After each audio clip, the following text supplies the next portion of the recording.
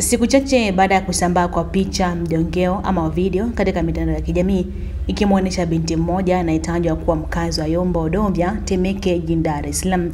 anadaiwa kubakwa na kulaitiwa na wanaume kadhaa. Leo waziri wa mambo ya ndani ya nchi Mhandisi Hamadi Yusuf Masauni amethibitisha kukamatwa kwa watuhumiwa hao. Itakumbukwa kuwa Agosti 4 zilisambaa video hizo katika mitandao ya kijamii ambazo ziliwaonyesha vijana takribani watano waliokuwa wakimbaka na kumlawiti binti huyo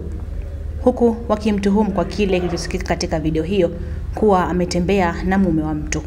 Lakini pia katika picha hizo mjongeo alionekana binti huyo akieleza sehemu anayotokea huku akilazimishwa kumwomba msamaha mtu huyo aliyemtaja kwa jina la Afande, suala ambalo wengi hufikiri kuwa huenda aliyetoa agizo hilo au watendaji wa tukio hilo la kinyama wakawa ni maafisa kutoka moja ya vyombo vya ulinzi na usalama hapa nchini.